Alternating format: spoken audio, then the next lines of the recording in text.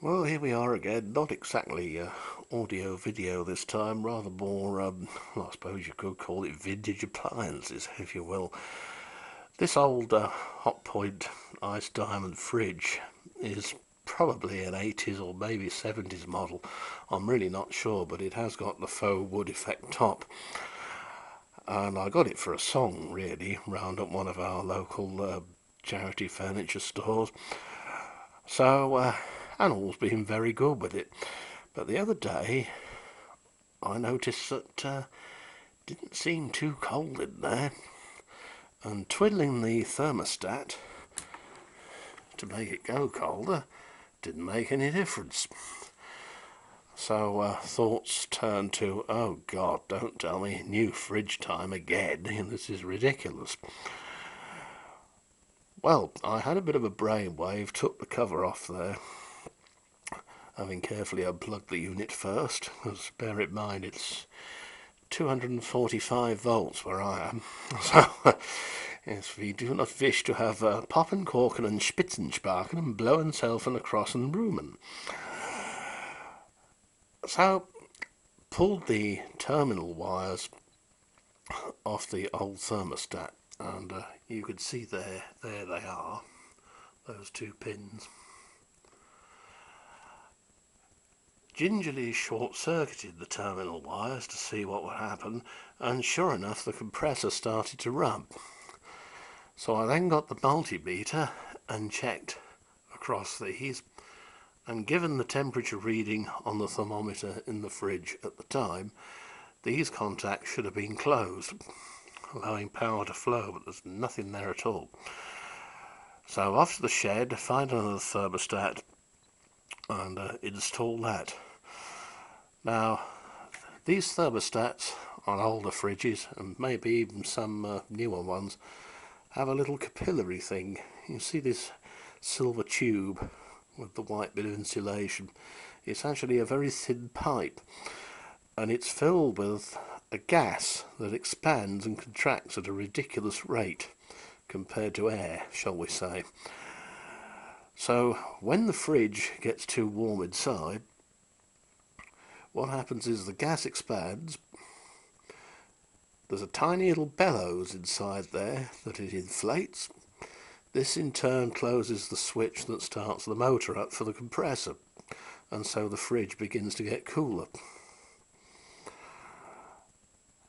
When the fridge is cool enough of course, see there it goes now, when the fridge is cool enough the gas has contracted by them and so of course the bellows fold back up if you will.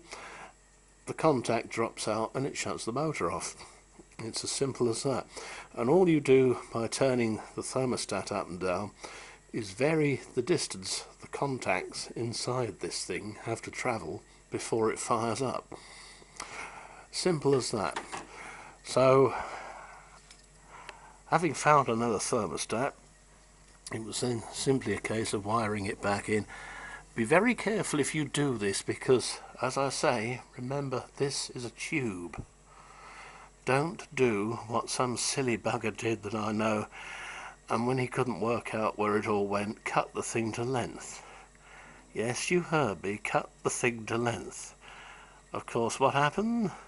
That special gas escaped and the thing was useless. Hmm. yeah, good, isn't it? Now on this one, the capillary goes through the ducting with the wiring for the light and the thermostat itself. Then behind here, the cooler itself, and it's screwed onto there so that it picks up on the temperature inside the fridge nicely. It's uh, at the bottom end of it, so it's roughly where my hand is now. As you can hear, we're whirring away busily, getting cooler, and uh, I better shut the door because I don't want to try and air condition the whole planet, do I? So uh, that was all there was to it. So uh, the trouble is, of course, if you call somebody out, well, they're probably going to charge you what, thirty pound, aren't they? Or you know, say fifty dollars if you're in the states, and uh, that's without any part. And so of course it ends up being dumped. Oh dear, what a wasteful world we live in, eh? But uh, yeah, so that's dud. Go in the Vilnius wagon, I think, or in the recycling down at the skip. Amazing what you find in that skip near, um, well, where I go, because uh, you do find some tasty things down there from time to time, which is rather nice. Now, couple of things about the channel. Now, you know, as you can see, this is sort of a AG3304 come back, so to speak. Uh, I don't think I can name it that again. No, it uh, probably wouldn't want me to anyway. But uh, Vintage Sounds 14 has got most of the old videos that I made on what he calls the AG3304 tribute channel. The only thing is you can't comment on them because he's had to put um, comments disabled on it. Because he was getting all these comments directed at me saying how are you? and all this sort of thing. And of course they don't come through to me because it's not my channel if you see what I mean. So uh, yeah that, that's that's why he's done that. But uh, I was um, quite flattered to find that I have to say I didn't think I was worth that much yeah, I know I'm not anyway so uh, yeah so we're still tinkering about on uh, looking after various elderly uh, refugees which would otherwise probably have ended up on the dust. I mean, that's a classic case in point.